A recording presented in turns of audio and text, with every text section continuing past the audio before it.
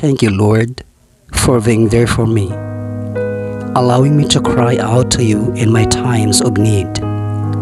It is amazing to me that the Lord of the universe would take time listen to me and take care about what I say. God, things are happening around me right now that I do not understand. Some of these things make me feel weak, helpless, and afraid. Even in this, I know that you are the Lord. I know the situation is in your hands, and I trust you. I beseech you for strength and wisdom that I would be able to endure this situation and handle it in a way that will bring glory to your name.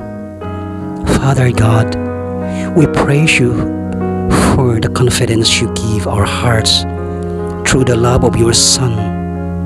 We look forward to the day when we will not pass from this world into condemnation, but instead will enter into your presence of everlasting celebration. Father, we confess that we are tired of living for ourselves. We thank you for sending Jesus to die in our place to deliver us from the misery of a self-centered life. No matter what struggles, temptations, or tragedies we face, please help us not to lose heart. Through the Holy Spirit, guard us from ever doubting your great love for us.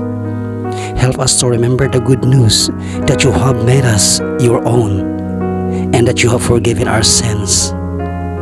Lead us to live our lives for Christ's sake at our workplaces, with our friends and families. We pray all this in the name of our Lord and Savior, Jesus. I come before you, O Almighty Father. As the sun rises, may your hope rise up in me. As the birds sing, may your love flow out of me. As the light floods into this new day, may your joy shine through me.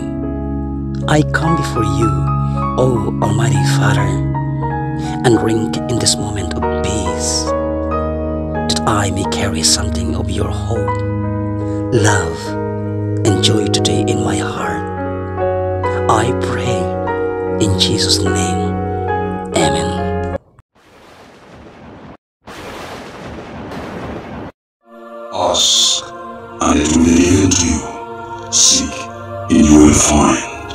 Knock, and door will be opened to you.